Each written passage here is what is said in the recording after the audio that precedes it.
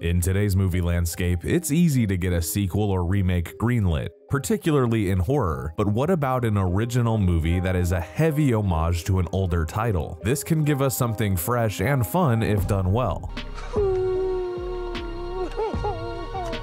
It has to have the right ingredients, like the right actors on screen, the right script, and know exactly what it is and what it's meant to accomplish. Indie director Joe Begos was the right guy to give us a wholly original genre flick that came out in 2019 to seemingly good reviews but little fanfare four years later. How a movie put out by Fangoria, one of the premier indie horror entities, came and went is frustrating, especially since VFW falls under the category of Best horror movie you never saw.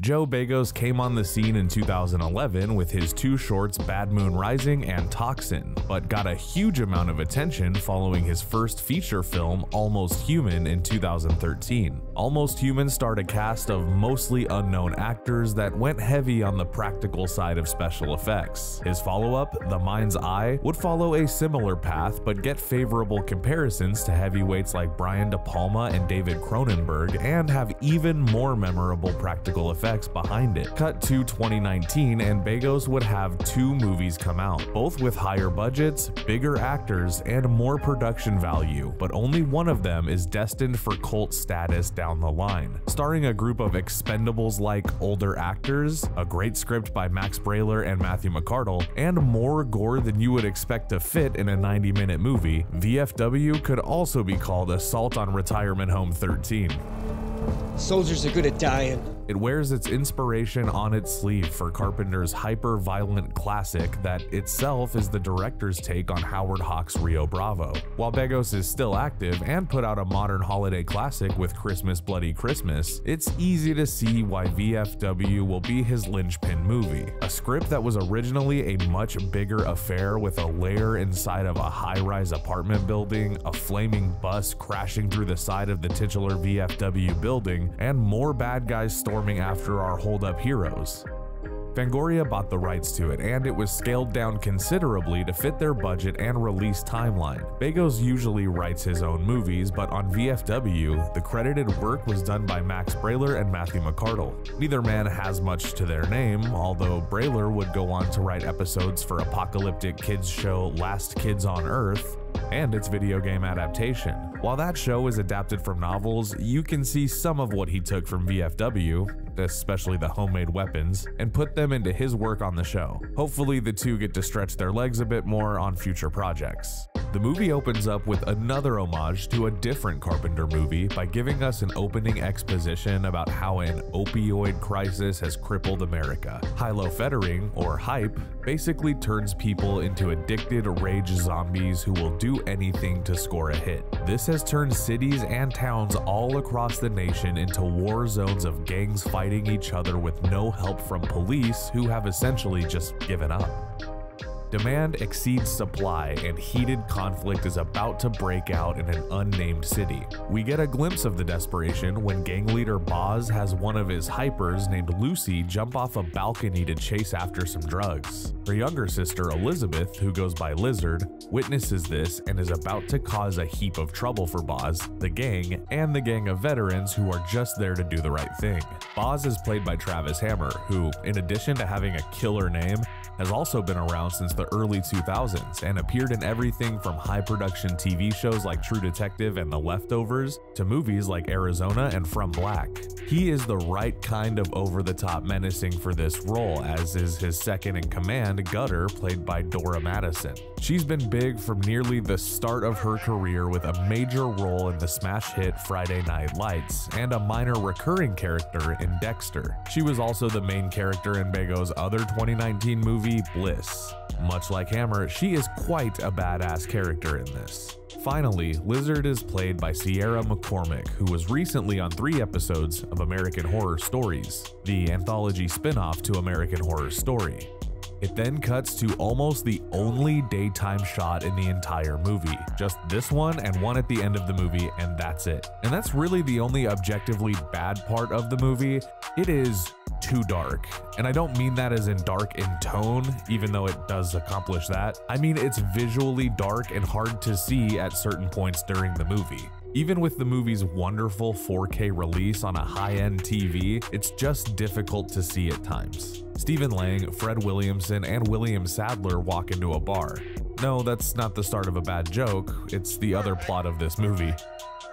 They get to their happy little part of the world in their veteran of foreign wars bar. Lang is the lead here as Fred, but it's William Sadler who steals the show as Walter. In addition to the already named leads, the rest of the crew consists of David Patrick Kelly, Martin Kove, and George Wendt. While this isn't exactly the Expendables level of horror personalities, something they tried to do with the even less seen movie Death House, the cast here has all appeared in the horror genre in some way.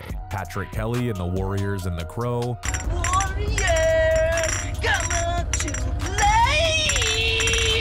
Williamson and From Dusk Till Dawn, Sadler in Demon Knight, Kove in The Last House on the Left, and Lang most recently in the two Don't Breathe movies, but also the best Hannibal Lecter movie you've never seen, Manhunter. They all have different personalities and play well off of each other in the grizzled vets that they're portraying.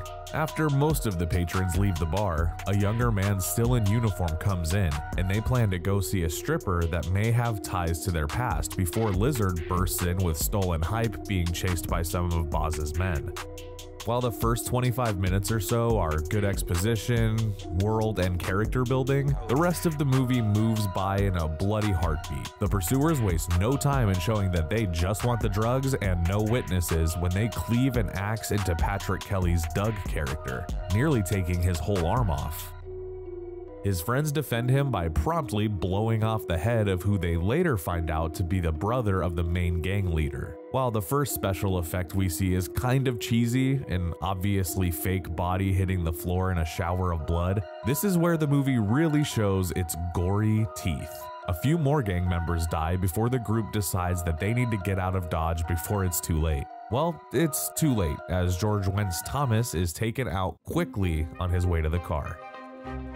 With no choice left, the remaining veteran friends lock the place down with their young refugee and active duty soldier in tow. They have limited weapons as they only have a shotgun, a handgun, and an axe, but the vets are a crafty crew.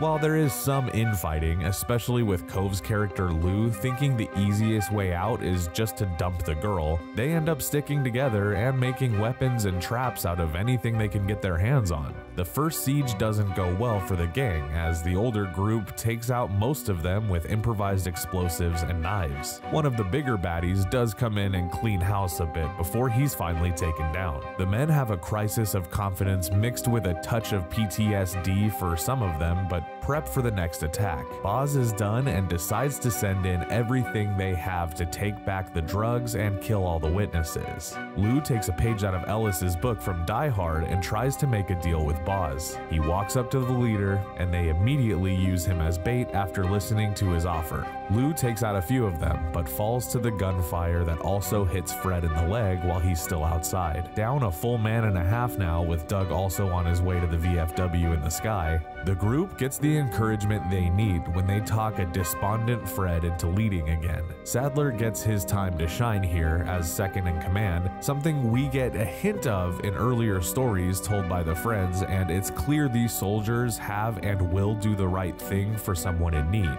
even in their advanced age. Boz comes by to talk one last time, even though his only acceptable outcome is all of them dead and his hype back and in a safe place. But a rejuvenated Fred holds his ground. The final wave of the gang hits as the group prepares to make their last stand, with Williamson even grabbing Chekhov's machete off the wall and doing a line of drugs to make him more pumped, like that early 2000s Barry Bonds. Everyone gets their parts to play and a baddie to take on while they still look for an escape route. Chainsaws, flagpoles, and gunfire take over as bodies are split and blown apart in a blaze of glory. Walter and Sean go for the truck but have to call an audible after seeing Fred's wheels destroyed. They go for the military vehicle that should only be decoration, and Walter is mortally wounded. Fred goes across the street to help Lizard and take on Boz, while Walter drives the truck into Boz and causes an explosion. Not the first time Sadler has sacrificed himself, as he does something similarly heroic at the end of Disturbing Behavior. Just a great character actor overall for Frank Darabont or anyone else in need of a man of class. The survivors go back and share a drink. At 92 minutes long, VFW does everything a grindhouse movie should do and never overstays its welcome while delivering on all the goods. It's Begos' best movie to date, and it's a fun flick that every fan of horror, over the top action, and genre in general should check out. The 4K is incredibly inexpensive and worth the blind buy or upgrade to get the deserving place on your shelf and be crossed off the list of best horror movies you never saw.